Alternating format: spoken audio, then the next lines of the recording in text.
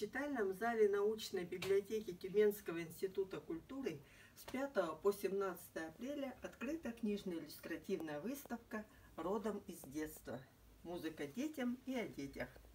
То, что музыка для детей должна сочиняться иначе, чем для взрослых, композиторы обратили внимание лишь в середине XIX века. До этого существовал некоторый педагогический репертуар, включавший пьесы для начинающих музыкантов – Одним из первых, кто стал писать музыку именно для детей, был Шуман.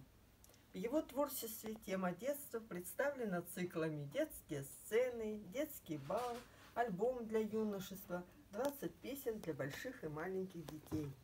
В России детский альбом Чайковского, написанный, как указано на титульном листе в подражании Шуману, стал непревзойденной до сих пор вершиной этого жанра – он дал толчок, толчок созданию близких по характеру и тематике фортепианных опусов. Возник даже самостоятельный жанр – детский альбом.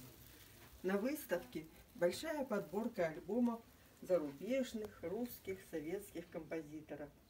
Музыка этих сочинений, как правило, посвящена тому, чем живут дети каждый день своей жизни – играм и забавам, сказкам и страшилкам – реальным людям и вымышленным персонажам.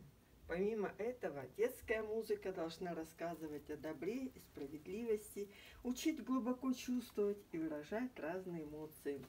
Образы детства раскрываются на примере лучших сочинений композиторов-классиков. «Детский уголок Дебюси», «Матушка Гусыня Равеля», «Бирюльки Майкопара», «Танцы для кукол Шостаковича», детские пьесы Прокофьева, Свиридова, Гедики. Современная музыка для детей создается в разных стилях и направлениях.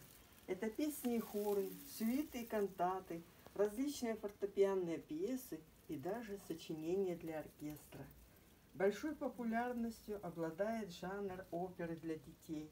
Последний раздел выставки представлен музыкальными сказками, операми, мюзиклами, Здесь же сборники детских песен наиболее знаменитых композиторов. Гладкова, Крылатова, Шаинского –